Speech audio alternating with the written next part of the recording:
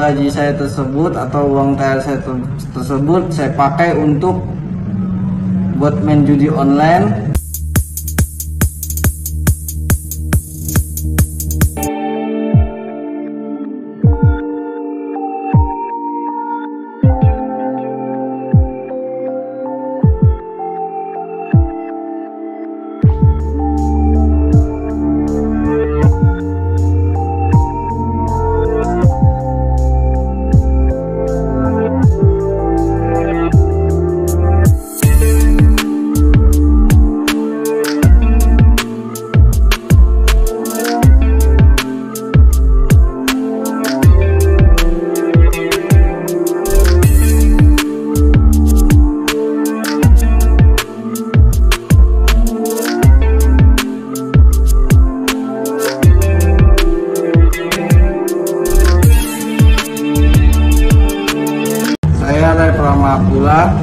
didampingi oleh paman saya, Fauji. Saya ingin klarifikasi terkait laporan palsu yang saya buat.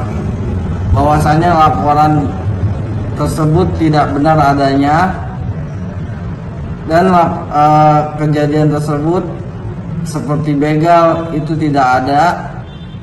Untuk uang yang saya ambil itu senilai 200.000 di ATM dan sisa dari uang gaji saya tersebut atau uang THR saya ter- tersebut saya pakai untuk buat main judi online.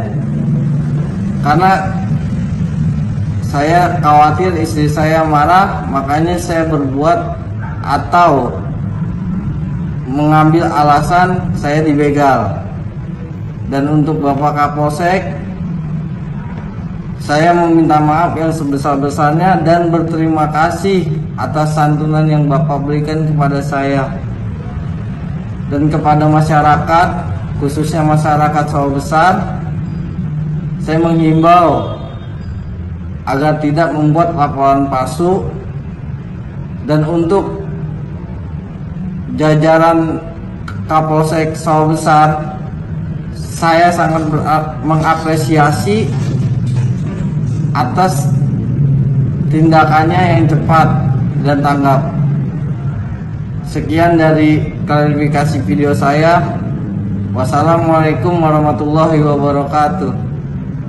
Saya Ray Pramapula dan didampingi oleh paman saya, Fauji. Saya ingin klarifikasi terkait laporan palsu yang saya buat. Bahwasanya laporan tersebut tidak benar adanya dan eh, kejadian tersebut seperti begal itu tidak ada. Untuk uang yang saya ambil itu senilai 200.000 di ATM dan sisa dari uang gaji saya tersebut atau uang THR saya ter- tersebut saya pakai untuk buat main judi online. Karena saya khawatir istri saya marah makanya saya berbuat atau mengambil alasan saya dibegal. Dan untuk Bapak Kapolsek saya meminta maaf yang sebesar-besarnya dan berterima kasih atas santunan yang Bapak berikan kepada saya dan kepada masyarakat khususnya masyarakat sawah besar. Saya menghimbau agar tidak membuat laporan palsu. Dan untuk jajaran Kapolsek sawah besar saya sangat mengapresiasi atas tindakannya yang cepat dan tanggap. Sekian dari klarifikasi video saya.